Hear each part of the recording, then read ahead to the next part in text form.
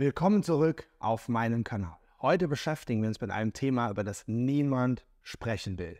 Die dunkle Seite des Erfolgs und wie das Menschen verändert. Tatsächlich ist es so, dass Menschen, die erfolgreich sind, oft verändert werden und auf einmal anders sind als vor ihrem Erfolg. Doch warum ist es so? Glaubst du, dass Erfolg Menschen verdirbt oder dass es den Charakter verstärkt? Wie genau das ist und warum das so ist, das schauen wir uns heute in diesem Video.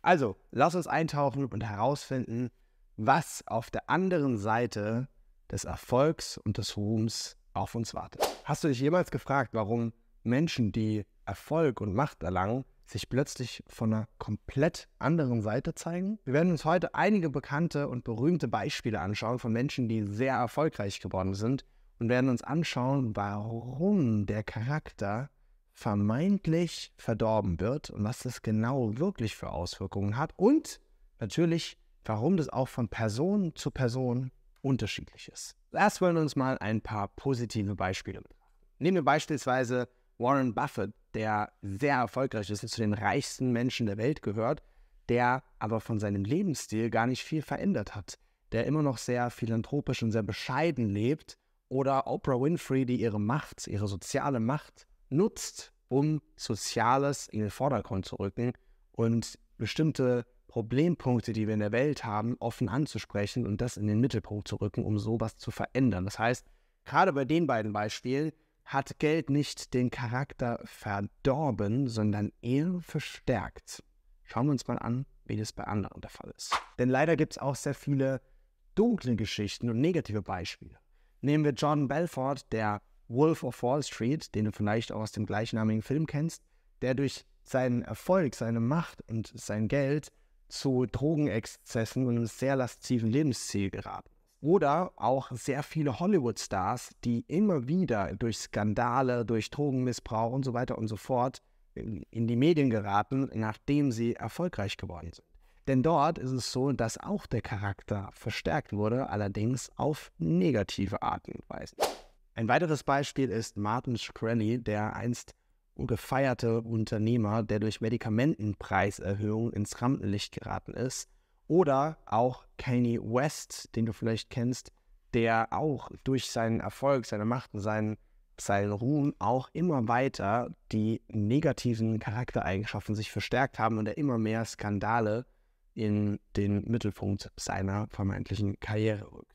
Jetzt gibt es viele da draußen, die sagen, Geld verdirbt den Charakter, aber wir haben uns jetzt hier sogar vier Negativbeispiele und zwei Positivbeispiele angeschaut und in allen Beispielen ist es so, dass der Charakter nicht verdorben wurde, sondern bestimmte Charaktereigenschaften verstärkt. Und genau da schauen wir jetzt mal tiefer rein, wie du für dich das Ganze vielleicht auch steuern kannst und wo du vielleicht Warnsignale auch erkennen kannst, wie du bestimmte Charaktereigenschaften im Vorfeld schon auflösen kannst, damit dir sowas nicht passiert könnte jetzt noch viele Beispiele wie Lindsay Lohan, die, vielleicht hast du es auch mitbekommen, extrem in Drogenexzesse abgerutscht ist, Drogenmissbrauch und sich dadurch auch körperlich hat entstellen lassen. Oder positiv Bill Gates, der unglaublich vielen Menschen hilft und das Thema Bildung in der Welt auch extrem pusht durch seinen Erfolg mit Microsoft.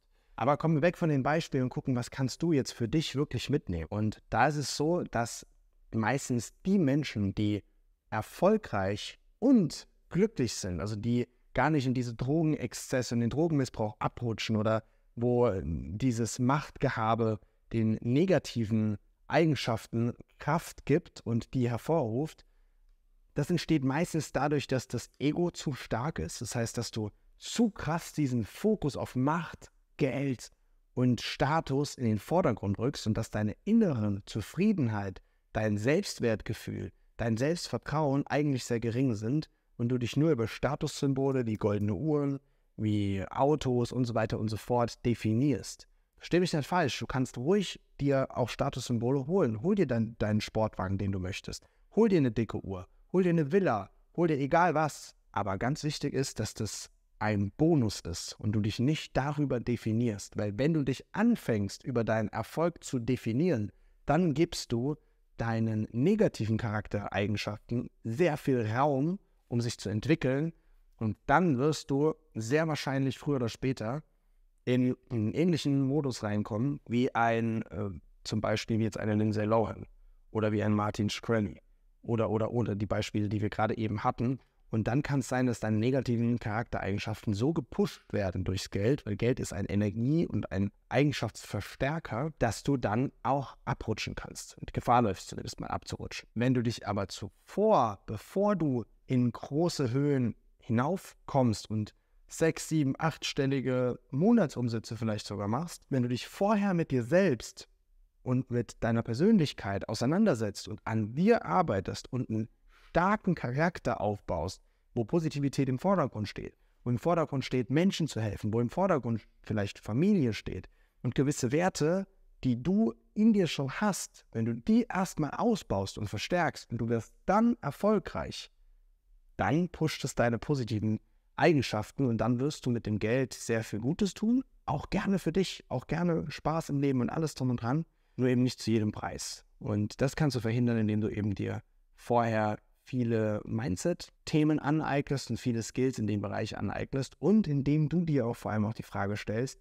was dich wirklich antreibt, wo du wirklich hin willst und deine Werte besser kennenlernst. Wenn du das machst, dann vermeidest du, dass du deinen Charakter verdirbst vermeintlich, indem deine negativen Charaktereigenschaften verstärkt werden. Wir haben alle in uns gewisse positive und gewisse negative Eigenschaften. Wir haben alle die, die Möglichkeit, ein guter oder ein schlechter Mensch zu sein, je nachdem, wie man das auch werten möchte. Und deswegen entscheidest du und entscheidet deine Bildung, deine Skills und vor allem auch dein Mindset und deine Einstellung zum Leben und deine Reflexion mit dir selbst darüber, was du wirst. Ob du ein erfolgreicher oder ein erfolgloser Mensch wirst. Ob du ein guter oder ein schlechter Mensch wirst. Ob du Geld für Dinge einsetzt, die auch der Welt was Gutes tun, die positiv sind, oder ob du Geld einsetzt für destruktive Sachen, wie beispielsweise Drogen, für Exzesse und so weiter und so fort. In diesem Sinne, wenn du dazu noch weitere Fragen hast oder auch sagst, oh, wie kann ich denn jetzt sicherstellen oder das auch mal überprüfen, ob mein Mindset wirklich ready dafür ist, oder du vielleicht sogar schon erfolgreich bist und das Video jetzt gesehen hast, dann hör mal ganz genau rein, ob da eine Stimme in dir ist und du das Gefühl hast, oh shit, da sollte ich noch mal ganz genau hingucken. Dann lass uns gerne mal sprechen und lass uns angucken, was bei dir wirklich die Themen noch sind, die aufgelöst werden dürfen. Das sind oft auch Themen aus Kindheit oder Jugend, wo noch ein tieferer Schmerz ist, der uns dann dazu verleitet, dass Geld die negativen Seiten hervorruft und verstärkt. Ich drücke dir die Daumen, dass du das hinbekommst, bevor du zu Wohlstand kommst, bevor du reich bist, weil danach das anzupacken kann zu spät sein, kann schwierig sein. Deswegen geh es vorher an, beschäftige dich vorher mit dir selbst und dann bau darauf, auf diesem Fundament, ein Hochhaus auf. Und ansonsten kann das genau sein, wie bei einem Hochhaus als Metapher, wenn du kein sicheres Fundament hast und dann kommt ein kleiner Rüttler, ein kleiner Wind, dann fällt das Ding einfach um.